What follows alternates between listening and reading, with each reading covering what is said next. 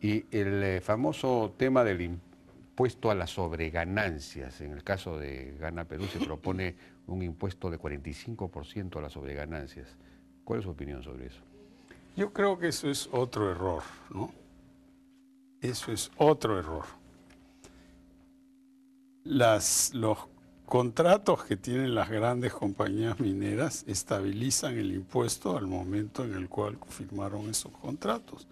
Los contratos más grandes están a punto de vencer. Yanacocha, Antamina, que son los más grandes. Y van a pagar regalías. Y las regalías son altas. Son 3% del bruto. Sí, de las ventas. De las ventas. Y eso significa entre 7 y 9% de aumento del impuesto a las utilidades, dependiendo del precio. Entonces, estamos muy por encima de nuestros competidores, que son Canadá, Australia y Chile. Entonces, tenemos que tener cuidado.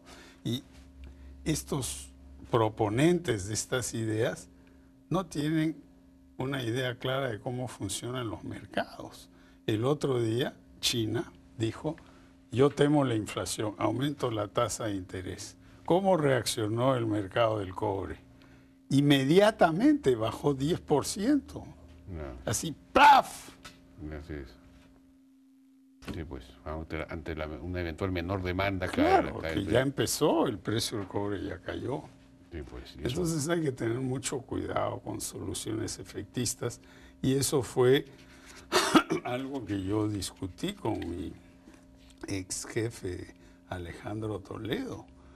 Le dije, tú no puedes financiar los gastos de los maestros, los aumentos a los policías, todo eso en base a un impuesto a las sobreganancias. ¿Qué pasa si no hay sobreganancias?